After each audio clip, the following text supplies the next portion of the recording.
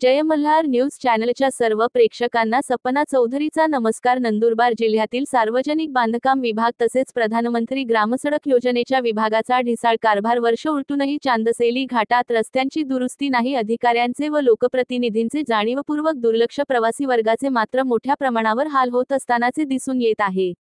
नंदुरबार जिल्ह्यातल्या चांदसेली घाटात दरड कोसळून रस्त्यात मोठ्या प्रमाणात माती साचत असल्याने वाहनधारकांना मोठा त्रास सहन करावा लागत आहे.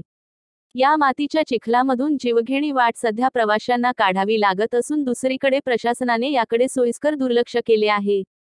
गेल्या तीन ते चार दिवसांपासून हा मातीचा ढिगारा रस्त्यावर पडून देखील सार्वजनिक बांधकाम विभागाने हटवण्याची तसदी देखील घेतलेली नाही. या ठिकाणी चिखलात वाहन घसरून पडत असल्याने प्रवाशी काहीसे किरकोळ जखमी देखील होत आहे.